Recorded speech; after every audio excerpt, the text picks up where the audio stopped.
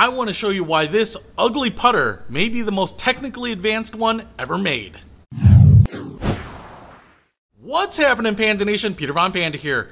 Putter, you say? It looks more like a tack hammer or something like that. But this is maybe one of the best putters ever made, and you're probably refusing to play it just like I did for a very long time. It's actually the Blade. I think that's how you pronounce it. Blade, because it's got the line over the A there. This is the 0.1 or the 1.0 Blade and there is actually a version 2 of this which is very very similar but I haven't done the upgrade because I didn't want to spend the money. But it's made by Lab Golf. Now Lab stands for Lie Angle Balanced Golf. Now if you have watched my video about my Edel EAS putter here one of my favorite putters of all time I talk about how putter companies at least science-based putter companies are trying to get rid of the torque of the putt. And what that means here is that most putters you know, my head where the ball, putt, putt, putt, putt, putt, right in the side there.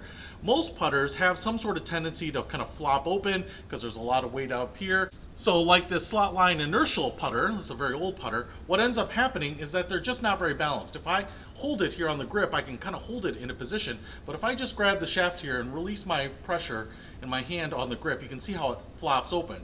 And this is actually what's called a face balance putter, so it'll face straight up in the air like this, but that means there's uh, an imbalance. And that imbalance, when you get into putting, ends up translating into torque on your hand. So something like the no torque or the torque balance putter by Edel is meant to alleviate that by reducing the amount of torque that it produces. And they do that by balancing it by putting extra weight in the heel and reducing, milling out the weight in the toe. And that gives you a really nice even putt. And you don't have to worry about the face on the club closing or opening right at impact. And that helps keep your ball in line because a lot of us can line up the putt pretty nicely, but when we start to putt, even a small movement in the putter I'm exaggerating here, but a small movement in the putter can move that ball off line by one or two degrees, and that can mean missing your putt. So what Lab has done here is they have made a perfectly balanced putter. Now, I have seen their mallet style putters before, their directed force putters, and I was really intrigued by it, but I just could not bring myself to buy one because they were just so ugly. I just could not see myself putting one in the bag, despite how good a technology they are, and despite the fact that they are probably, to be honest, honest, the best putter on the market for most of us. Um, I just thought they were too ugly. Now they did come up with a little bit more of a standard looking putter, a blade like putter here. Again, this is probably not a beautiful putter in my mind, but at least it has a little bit more traditional look. Now I will say here, it just kind of looks like a block of stainless steel on the end of a stick, and in many ways it looks like a very old putter because if you look at a lot of those old putters, kind of the style of putter that you would get if you go to a miniature golf course, they are actually not bad. The shaft went to the middle, which means that there's an equal amount of weight behind the shaft and in front of the shaft, which means they're pretty balanced. The shaft actually goes right to the center of this block of stainless steel. And actually, you might say, Pete, it doesn't go right to the center. I can see it's just a little bit a little bit forward. So this is the leading edge right here, and it just looks a little off center. For you that are OCD, you would be right. And that is to kind of get the shaft a little closer to the face, which is what we are normally accustomed to as putters. But the way that they have made sure that the weight here and the weight here is the same is that we have a flat front, but we have this milled out behind on it. And you can see they have milled out a bunch of weight out here. So even though the shaft is a little bit forward to the eye, we are still perfectly balanced because there is no weight there. And then what they do is they fine tune it with some of these weights right here in the heel and toe. And so not only is it weighted forward to back, you know, so the putter does not want to go this way or this way. It's just perfectly weighted like this. It is also weighted based on the lie angle that the shaft is built into here, uh, perfectly 50-50 forward to back here. So that means it's a very, very stable putter. In fact, if I spin the putter like this, it should spin perfectly because it's not a toe hang, it's not a face balance putter, it doesn't have any tendency to rest in any particular direction. It's just perfectly balanced. So cool!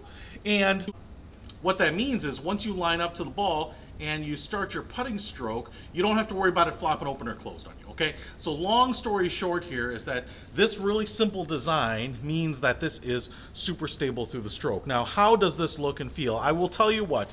First of all, they do a really nice job. It's just a block of stainless steel. You can see the bottom is slightly radiused here. We have some kind of edges that fall off, a little bit of beveling there. You can actually buy these with some markings on the face. I'm not too worried about that, you know, some of the textures that they can implement. I will say that one of the things that I would like is more alignment on the top. So they do have two, looks like laser etched lines on the top so you can line it up to your target. But I also saw a version, and I'm not sure if it's custom, you have to let them know. I didn't see it in the configurator on their website, but some versions have like five lines, and I would definitely think that more lines there would even be a little bit better.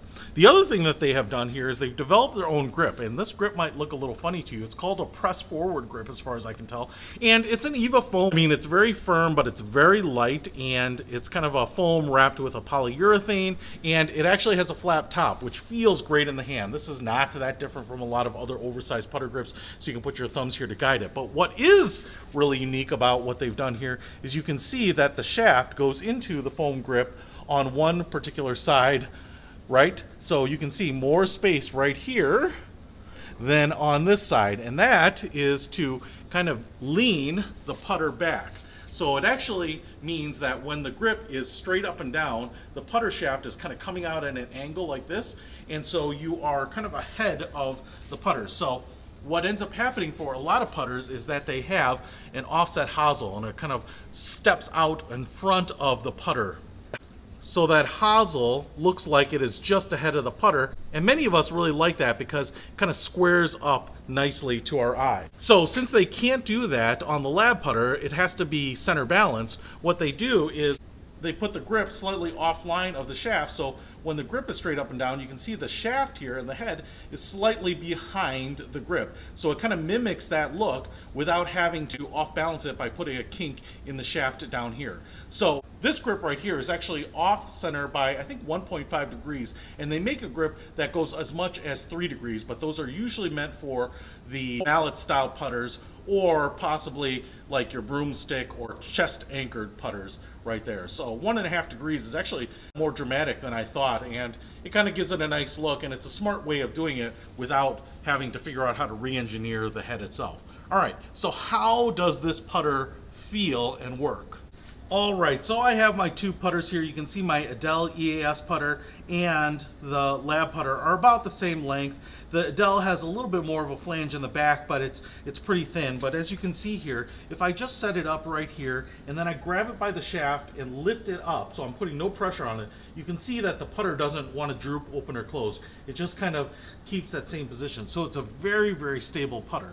Now, I will say, despite how stable it is, and despite how absolutely immaculate it is made, and the fact that I think it is probably one of the best putters in the world because it just has a standard premium look and yet has this technology in it, this putter I think is actually more advanced uh, despite how simple it is and that's because it is really a form follows function design. I mean it is designed to putt well, to putt straight, to have no torque or twisting and everything else is secondary, right? Including looks, which is why it looks like this. And I will say here, if I set it up here and I put it in kind of that lie angle about to putt and I reach down in the shaft and I just pick it up, you can see here, man, that is really stable. It just doesn't want to twist at all. If I pick it up here and I have this just the lightest pressure on the grip, you can see, you know, it just doesn't want to do anything except kind of rise up in the air. And if I just put it here with as little pressure as I can put on this grip, I mean, it's almost falling out of my hand, you can see it just does not want to twist at all. Now, in fact, many putters will do a pretty good job of not twisting on slow speeds, but it's really when you start kind of getting into fast putts, long putts, that even a slight imbalance is more noticeable. But if I pick up my older Slotline inertial putter here, very little pressure on the grip here, and I start swinging it around, it, you know, it actually, this toe wants to swing back and does not ever want to come back around again. So it just, it actually hangs open. So it is pretty inferior to what we have today. So if I just take some balls here and kind of line up, and again, I can use super light pressure, which gives me good feel, and man, that thing just stays super square. I'm putting through a very, very small target in front of me. Actually, a couple of chair legs right there. is my target. So if I set up like this, man, just goes right on that line, right? So, man, I see the line on the ground that I'm trying to putt through, and these balls will roll right on it. I, it's almost unbelievable to me. Again, I am not bagging on that Edel putter in any way. This Edel putter is a great, great putter. I've used it for a long time. It feels great. It has a traditional look. It has one of these stupid little things that I actually like is to be able to scoop up the golf ball on the back of the putter, which you obviously lose with the lab putter.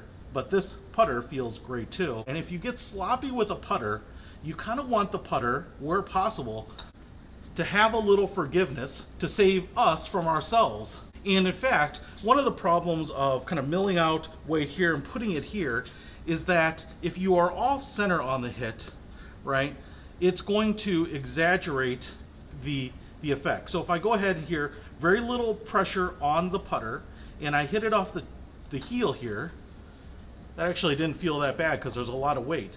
But let's see what happens here if I hit it off the toe. Very little pressure. And that actually stays pretty, pretty square as well. But I will tell you that it feels quite a bit different to hit it off center because on the heel there's so much weight it actually feels pretty sturdy. But when you hit it off the toe the fact that it stays pretty square is a testament to the technology in the putter because it feels like the putter is kind of twisting open. It's torquing on your hand here. But if I hit off center on the lab putter here off the heel man that goes straight and it's a much less pronounced effect of hitting it off center and off the toe. And again, very much, honestly, it doesn't almost feel like you're hitting it off center, despite the fact that I hit those really off center. So the nice thing is, even though we probably will not hit the putter in the center every time, even if I'm off a little bit, millimeters or a centimeter off the center, uh, the fact that I was hitting it out three or four centimeters off center and it didn't feel bad in my hand means that when you hit it a few millimeters off center, it's still gonna feel like a really good putt. So I tell you what, I really love this lab putter. Even though it is simple, even though I don't really like the looks because I think it almost looks like a homebrew experiment, it is maybe the best putter that you can get. And if you are looking to improve your putting, save some strokes, improve your game, and you can put looks behind style, I think you might really like this. They're not inexpensive, but if you want to pick one up, I'll put a link to them in the description below. Peter Von Panda, out.